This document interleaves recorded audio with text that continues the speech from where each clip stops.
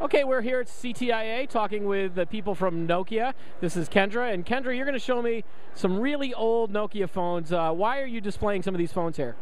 Well, this year CTIA is celebrating 25 years of wireless, so we thought this was a really good opportunity to kind of open up the Nokia vault, roll out some of our relics, and take a look at kind of where we've come in the last 25 years. Um, so right now I'm holding the Nokia Mobira CityMan, which was announced in 1987.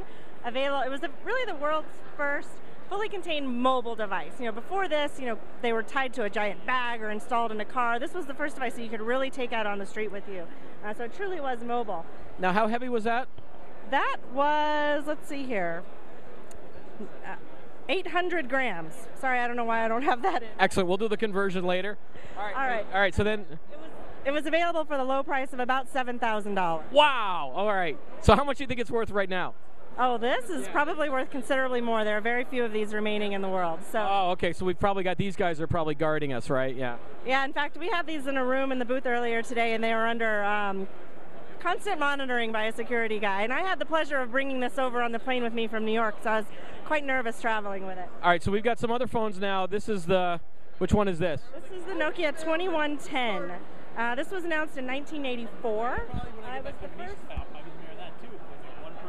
it was the first. It was the first device that had an identifiable music tone. And one of the other kind of fun things about this device is that it actually offered um, two and a half hours of talk time, which was pretty unprecedented at the time, and a, a whopping 30 hours of standby time. Uh, so now this one? Sure. So right next to it, we have the Nokia N9000 communicator. Now this was announced in 1996 and it was really the first of its kind. I mean, this was truly was a little mobile computer. Um, this evolved over the years. Um, we continued to, to um, evolve this line, and most let's see, the most recent communicator we have came out probably about a year and a half ago, and that's the E90 communicator. It was a very popular form factor and still has a pretty considerable following today. Okay, now we're going to go on to this phone. This looks more familiar. Yeah, that's the Nokia 7110, which was announced in 1999. This was the world's first media phone. It ran um, wireless application protocol. Um, was a dual band. Oh, wow. This is when it really started to get exciting about, you know, the mobile internet really started to, to come to life, I guess you could say, in its earliest stages. Okay, and then this one is? That is the 7650. This was the first S60 smartphone, and it was also the original camera phone. Uh, right next to it, we actually have the 3650 came out the same year. These were both 2002. Uh, the blue kind of funny looking thing with the, the round keypad. That was the first um, smartphone and the first camera phone delivered in North America. How come the uh, round thing never took off in terms of the round pad? I don't know. Isn't it? I don't know. You think it's, yeah, you think it's unique enough. All right, and then the last two we've got here are. Um, so the little blue one, that's the Nokia 1100. That device sold over 200 million units. It's the world's best-selling phone ever. It actually is in the running for one of the best-selling consumer electronic devices ever. Outpaces like Sony PlayStations, right on on par with the iPod. And then this last one, I think I'm, I'm, familiar with this one too. This is the yeah, that one might be a little bit more recognizable. That's the uh, Nokia N95. We came out that with that in uh, announced it 96. Uh, I'm sorry, 2006. I believe started selling it in 07. That was the first. That was kind of like the birth of the modern smartphone.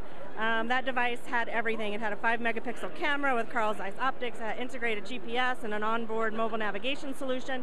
Um, fantastic seller. We came out with a couple of different versions of it. Um, like I said, that really kind of was a springboard for smartphones as we know them today. All right, so now what, what's the latest in terms of uh, smartphones? Um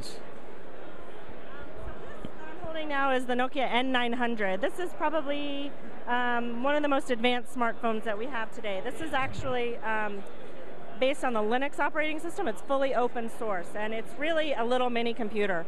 Um, this kind of evolved into a phone, starting out as an internet tablet. Um, so it's really, is this touchscreen or does it flip open? And it does flip open as well. It's got a full QWERTY and a touchscreen. Uh, it's got four home screens. Um, you know, all sorts of fun things you can do on here. It's got a full web browser, the actual um, PC browsing experience on here. Um, sorry, I, I don't use this very often. Um, and this is available in the U.S. or is this kind of a Europe? It is available in the U.S. Available in open distribution. It's available for around $530 or so. Um, so you know, for those people who like to really tweak their gadgets, this is for them because it's truly open. We actually ran a contest um, leading up to the show called the Push N900 um, contest where we challenged people to take this device and turn it into something that they're passionate about. We selected three finalists, and they're here at the show with us. Um, one has used this device to be the brains for a robot that you can control over Twitter. Um, another is has they've created a bicycle dashboard where you can actually map your, your bicycle route, monitor your speed, your distance, and so on. And then another um, team um, created a racetrack, and one of the cars is controlled by the N900. So that's what I mean when I say this is really a mini computer. It's coded just like a mini computer, and it's fully open source with Linux.